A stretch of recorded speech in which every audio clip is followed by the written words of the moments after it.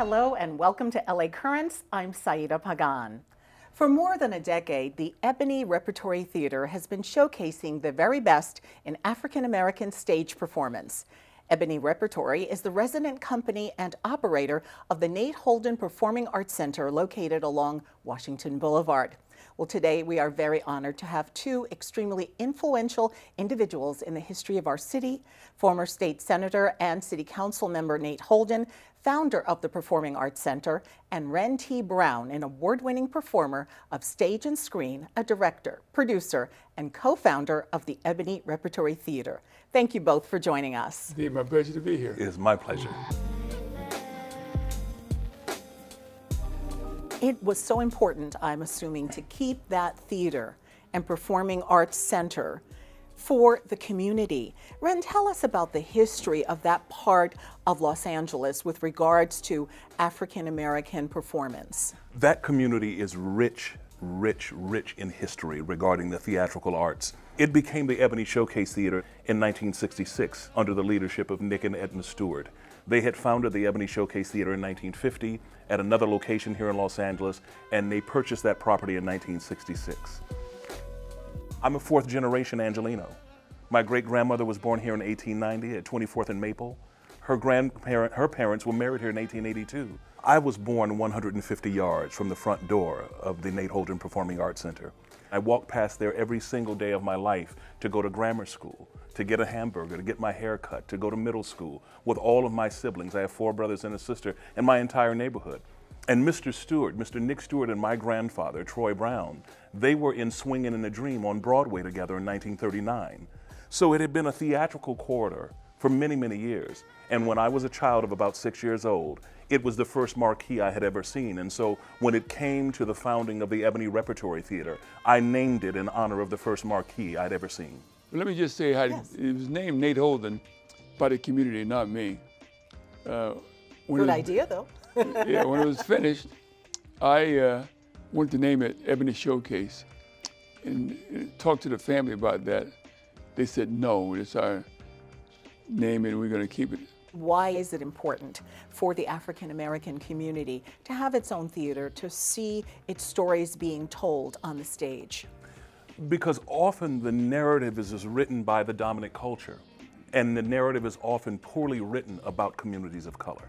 And so when you can see yourself as whole, when you can walk into a theater and you can see a play where your mother or your grandmother or one of your siblings is represented, though that is not that individual on the stage, you know that, you intellectually know that, but there is a kinship immediately. There is an understanding immediately, and it's vitally important because when you're able to see yourself as whole, then you're able to exit that theater chamber and to treat someone with another kind of intentional civility. You're, you feel better about being a human being. Would you like to add to that? It generates pride.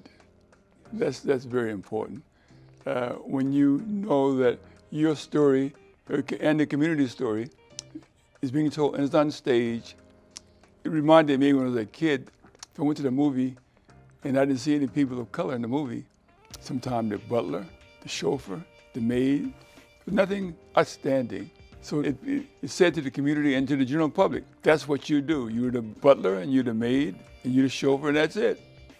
When I was a kid, we had one day a week we could go to the movies, African Americans. And if you did, you have to sit downstairs.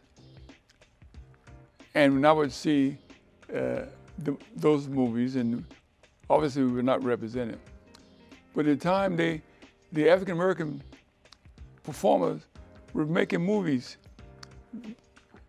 black movies, cowboy movies, okay? And when I said, now we have an opportunity to upgrade that, and now I'm a city council member.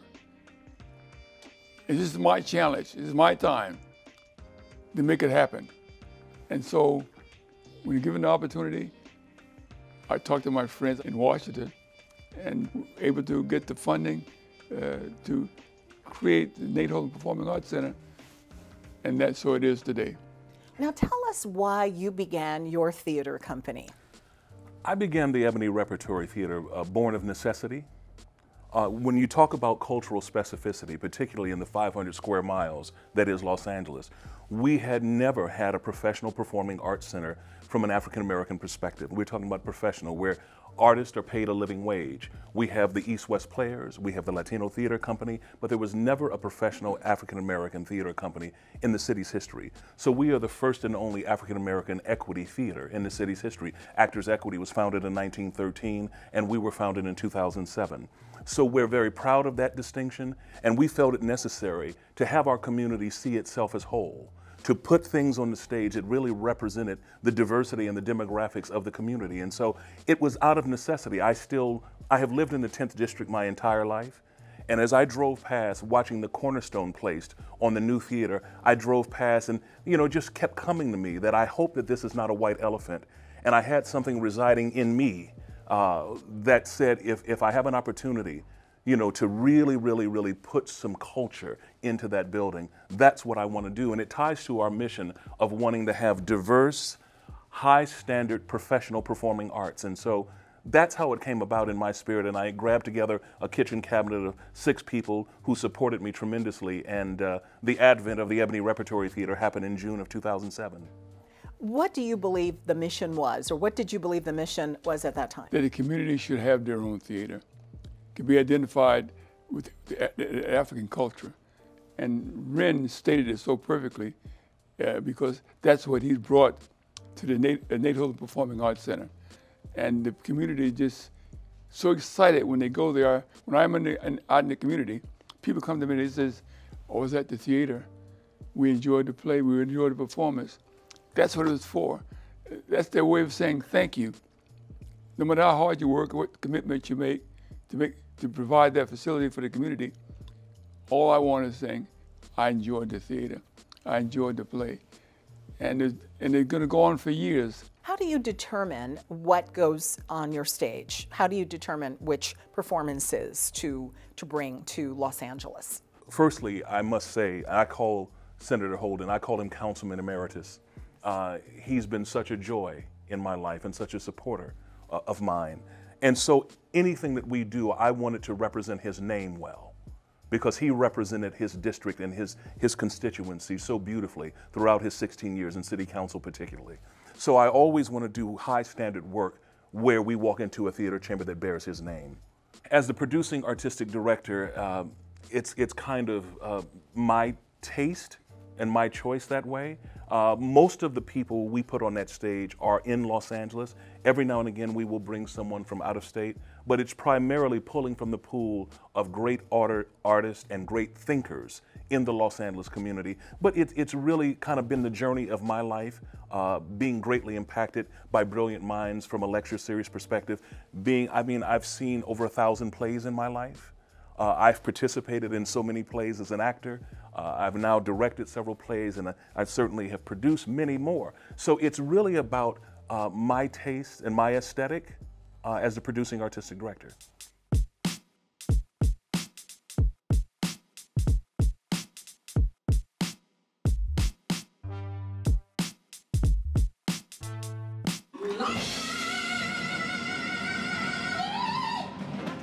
Do you have groups of school children coming in from time to oh, time? Oh, we give away scores of tickets to every run of every show so that the youth can come and participate in the work that we're doing. And how do you feel about that, having the kids come and participate? I love it. That's the idea. In fact, I drop by the theater from time to time, and they have dancing groups there, just practicing, rehearsing, and so on for the performances that they're going to put on at some other location, perhaps. But uh, the kids are our future, and uh, many of them are dedicated to the arts. They just don't have a chance to display their talent. And so it's important to me to know that uh, this facility is a location where they have an opportunity to do that. And Mr. Wren Brown is making sure that it's available, the doors are open, they can come there and train. One last question. Where do we find more information? www.ebonyrep.org, 323 964 9768.